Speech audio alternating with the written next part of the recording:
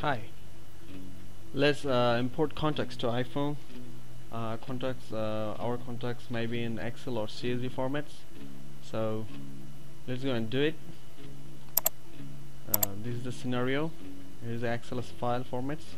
We have to save the XLS file as CSV because Google Contacts could not import XLS. That's why we need to convert it to CSV the Google only import CSVs or vcards however we just uh, convert the XLS to CSV or save as a CSV it's so simple. And then uh, our goal is to put all the connect to iPhone.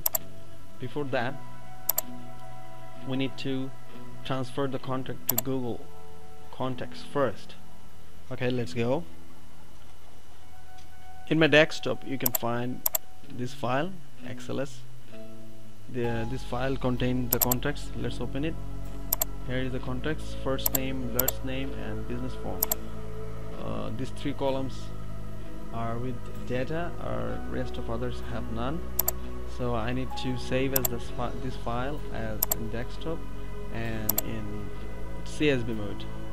CSV choose my extension as CSV and then save as so it already saved this save this file as CSV and uh, cancel. Then just close it. Okay don't save it. Okay. So this is the file contact.csv I already signed in in this contacts. I already signed in this Google um, in Google Contacts. I'm in Google Contacts. Uh, in Google Contacts click more and then click import. It asks me to browse the file of CSV and uh, this is my file .csv open it and import. It takes a few seconds to uploading. Give him few seconds yeah all the contacts are populated in Google Contacts select all the contacts right now our goal is to is to make uh, cards from Google. Select all the contacts click more. Export. Click export. Uh, selected 125 contacts it asks me which export format.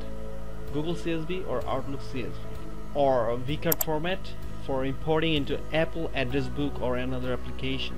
So I choose the Apple address book options and click on export. It asks me to save this file. Okay, no problem. Save this file. And the downloaded this is this one is virtual card file contacts.vcf let's open iCloud. Is our iCloud um, our steps we where we are we take all the contacts to Google Contacts and then we export all the contacts as a vcard format. And right now we'll do our final stage that is import all the vcards import the vcards to iCloud. Okay let's check. Sign in in iCloud. Just sign in to my iCloud. Click on contacts here there is no contact it's empty. I need to click on this settings.